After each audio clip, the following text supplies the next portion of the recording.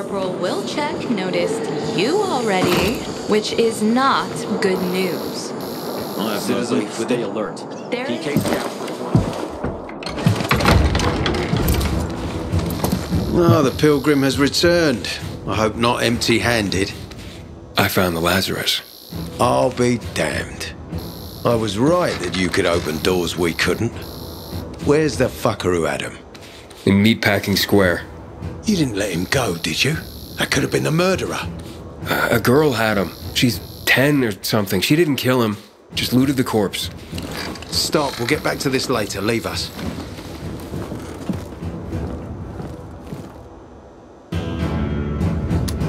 Ah, looks like a constellation on your arm. Those are rank tattoos. When we ran low on resources, tattoos eventually replaced medals. They show our hierarchy. Like in prison? Prison or military, it's all the same. There's always a pecking order. I did what you wanted. It's your turn. Get me to the center. Opening the tunnel to the central loop is beyond my pay grade, Pilgrim. Command wants me to find the killer. Ader, you promised! Cool down, Pilgrim. I keep my promises. First, take this. Token of gratitude. Ader, I have to get to the center. Get it? You're looking for someone, right? I want to go to the central loop too. My wife and kids are there, and I can't protect them when I'm stuck here. The tunnel will open when I find the killer. Is that clear? You can help me, or you can wait until I find him myself. I see traces of blood on the Lazarus's blades. Lucas managed to wound his killer before he died. Uh, bastard's got to have a nasty gash. If you find him, you'll not only help me, you'll be helping yourself. Okay. Do you have any suspects? The commander was murdered in the bazaar. There had to be someone from there. The people of the bazaar are simple folk. Why would they risk defying you? And that's why I want to discover the truth before the orders come down to use force. Besides, appearances can be deceiving. They want to get rid of us. They think anarchy is the key to building a new world. Well, there is plenty of anarchy these days. Carl is a faux pious hustler who brainwashes others with slick speeches. He says everyone's equal, but it's bullshit. You can't be a leader and an equal at the same time. I'll try to find Lucas's killer. Splendid. That's your ticket to the center. Head back to the bazaar. Is there anything else I should know before I go? Yes, as a matter of fact. But this is totally hush hush. Word of this cannot get out. Sounds serious. Whoever killed Lucas took a little trophy, carved his tattoo right out of his bloody arm. They cut into his corpse? That is seriously fucked up. Yeah, seriously.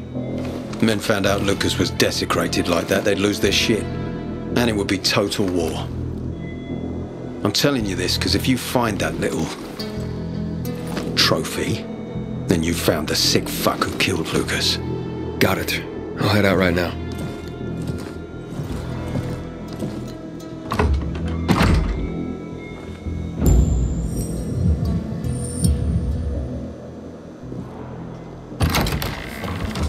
Got my eyes on you, Pilgrim. Don't cause no ruckus here. This is PK territory. Aiden, still alive? Worried about me, are you? Of course. I have high hopes for you, Aiden. Meet me outside.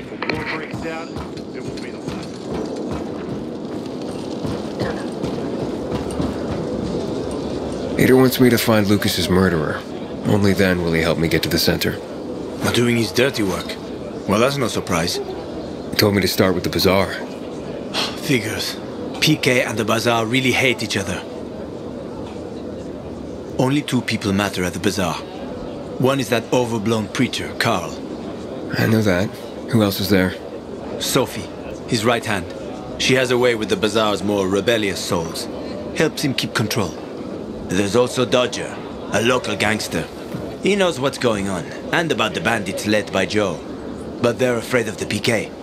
Okay, I'll talk to Sophie and you look into Carl, unless you prefer the girl. Sophie? Uh, she's not really my type, you know? And headstrong. She's... you'll see.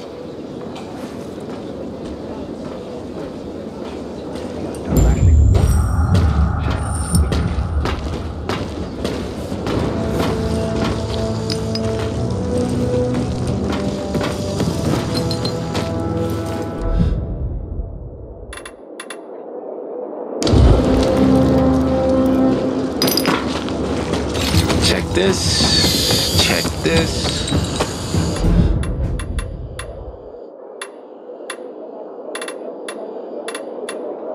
You're always welcome here. Something's not adding up. Nah, it's fine. To get myself.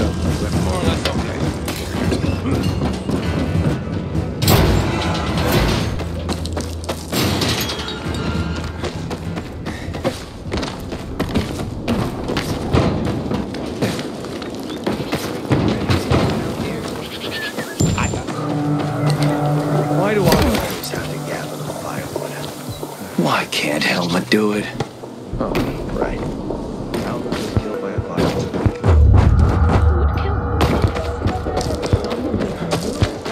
I ain't leaving the bazaar today. The wind's blowing from the east. That's a bad omen. What are you up to these days, Aiden?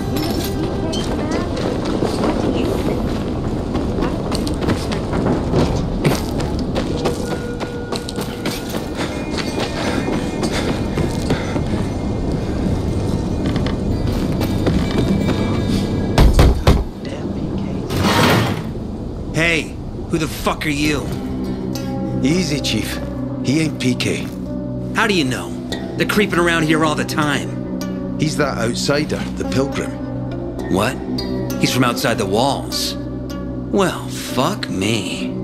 I don't know what brings you here, but watch your back, Pilgrim. And stay away from the PKs. They ain't no one's friends. This time with a biomarker.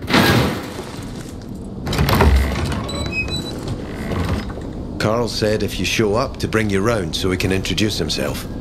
What a nice change from wanting to hang me.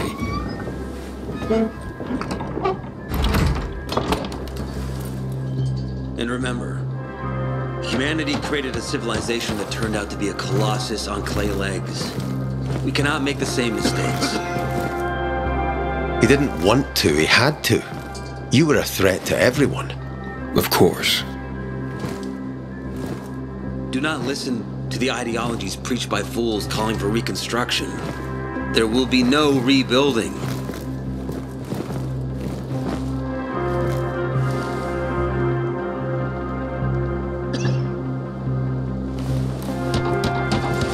Who would have thought? A pilgrim in the bazaar. Welcome. Yeah, I'm still alive, despite your best efforts. It's clear to me you're holding a grudge. But if you were in my shoes, you would understand. We are responsible for the safety of our community. And we treat this seriously. That's why we did what we did. I hope you can forgive us. So, pray tell, what's it like in the outside world these days? Bad. And getting worse. Settlements are shrinking in size and number. I'm afraid soon there will be nowhere else to go. Doesn't surprise me, son. Humanity must reach the bottom in order to rise again. And this is why we are here. Any more news? Not really. But uh, why don't you tell me more about your people? We are called the people of the bazaar, simply because of where we live. But who we are truly are free people. Free from lies, free from money, free from religion, wars, politics, and the dark cloud that has blanketed the earth. That sounds great. Too good to be true, in fact. Oh, we have our challenges. Water is scarce, for example. But with courage and patience, we will someday create a paradise. Well, you seem almost thankful for the collapse of civilization. It was as tragic as it was inevitable. Consumerism, belief in the almighty dollar led to this catastrophe. So, we here strive not to make the same mistake twice. It would be a crime.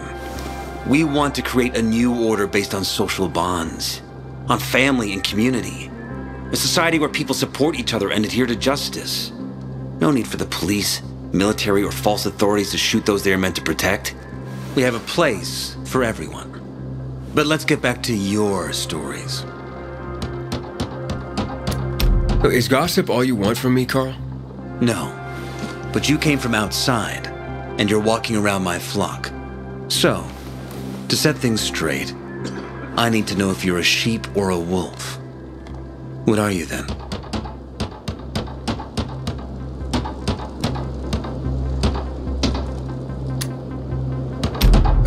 A sheep. I'm no threat to you.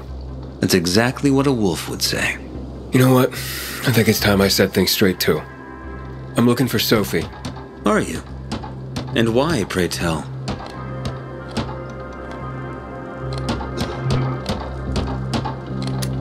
I need to ask her about Lucas's death. Oh. Why would a pilgrim care about PK business? What's in it for you?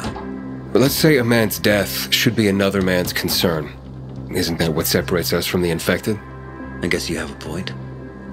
Lucas's death is our concern as well, but mainly because we are the prime suspects. I have never hidden my views on the Peacekeepers. The old world fell because of people like them greedy, power hungry fascists. Building the new reality based on the old values would not be wise, to say the least. Of course, according to the PK, such claims automatically make me, and all of us, potential killers. So the sooner Lucas's murderer is found, the better for us. Go that way. You'll see a giant of a man. That's Herman, Sophie's bodyguard. She won't be far. But just to be clear, I'd be surprised if she knew anything about it. Sophie is a fighter, not an assassin. Yeah, thanks for the heads up. I'll see you around, Carl.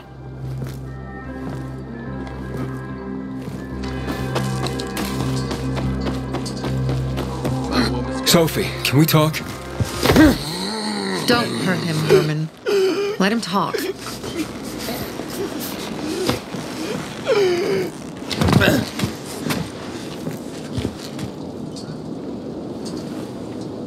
My name's. Aiden. You're that pilgrim that came to town recently. You're sure well informed.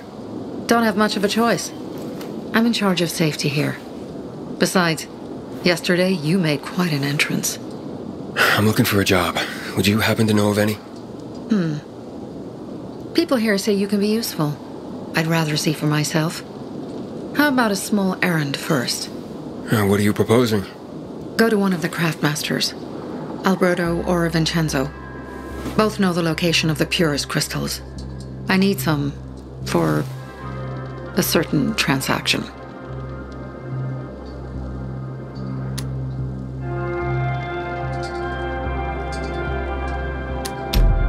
Certain transaction? Anything I need to know about? Curiosity is the first step on the road to hell, Carl says. Do you believe that? I believe in not trusting strangers, and that's who you are. So far, at least. Bring me the location of the crystals first. We'll see where we go from there. Those crystals. What's the deal with them? They were created by the chemical bombings of the city. A byproduct of some sort. People believe the infection spreads slower if you wear them. Honestly, I don't think it does. But there's no harm in trying. And that's why they're so important to you guys. That and many other reasons. They're hard to get, difficult to destroy, and easy to get obsessed with. Because they're so pretty, right? But most importantly, they're real, tangible things. Way more real than a piece of paper and old money. That's why they're so bloody expensive. You said you were in charge of safety at the bazaar. What does that mean exactly? It means any PK who threatens our community of free people can count on me breaking his skull. Oh, from the way Carl talked, you sounded more like pacifists. We're trying to overturn the old ways and usher in a new era for humanity. It's a true revolution.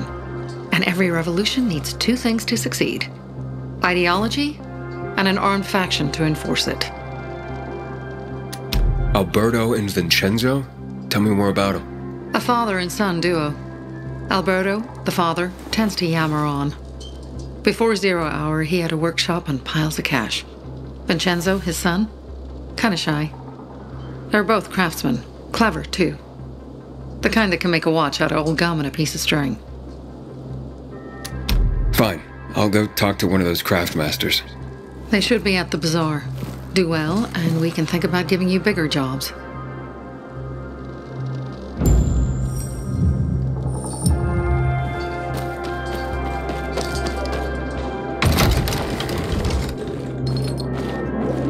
Hey, you.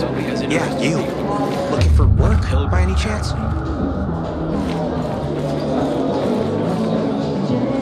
I'm Damien. Aiden. You're new here, right? Does it make a difference? I pride myself on knowing everyone in this dump, but I don't know you. Maybe that's because I just got into the city. For reals? Wow. Respect. I heard that outside the walls it's a bloodbath. What does this have to do with the job? Nothing, my friend. Just sussing you out. And I like what I've sussed so far. But about the job. First and foremost, it'll require a certain amount of discretion on your part. You'll be doing business for my partners, and it's their business only. No one else's. Head on over to meet them in West Quarry and they'll fill you in on the details. Understood. I'll go report to them. Don't keep them waiting. Don't look at me like that. I'm just giving you information. Yesterday. Things are getting out of control. Back in the day, I had a huge Have you seen a ginger a massive bastard stole my lap? Has a bottle of well, and uh, A workshop, Dad. yes, a workshop. So where is it? You're not in one now, Alberto. I invite you to browse.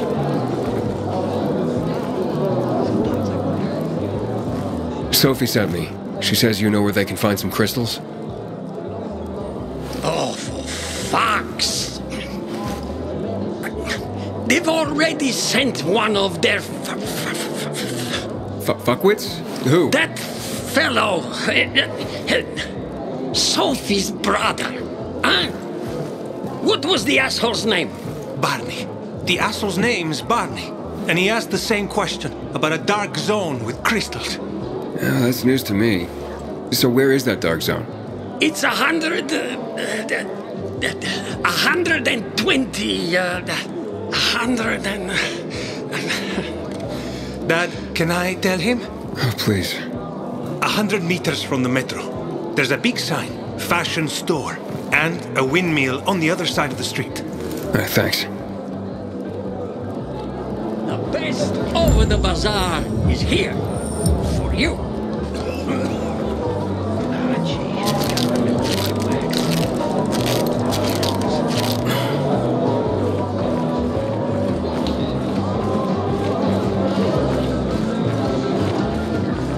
Don't look at me like that. I'm just giving you information. And just between us, you don't regret. Come here. Well, what did you find? I know the location, but I was told your brother asked about it already? Herman! See if Barney turned on his radio.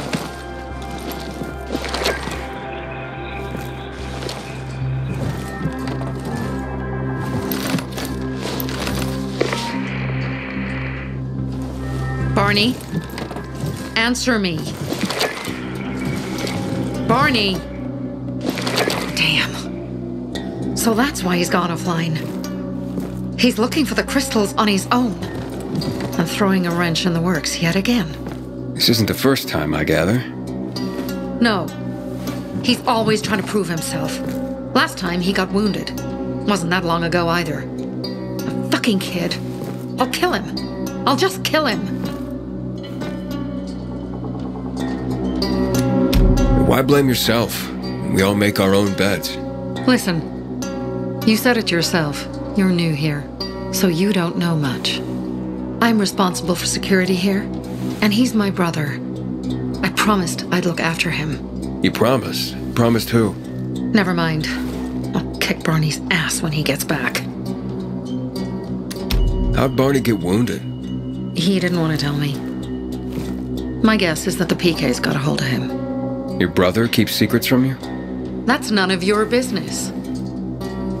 Barney, answer me! Damn it all to hell! If he went to a dark zone in his condition, he's a goner. I can try to track him down. You? I've been in the dark zone before. In the GRE hospital. St. Joseph Hospital? Really? If you save him, you won't regret it. We still have some time. Barney will likely wait till dusk. Going into a dark zone during the day is suicide. Just bring him back home safe. I'll do my best. Good luck.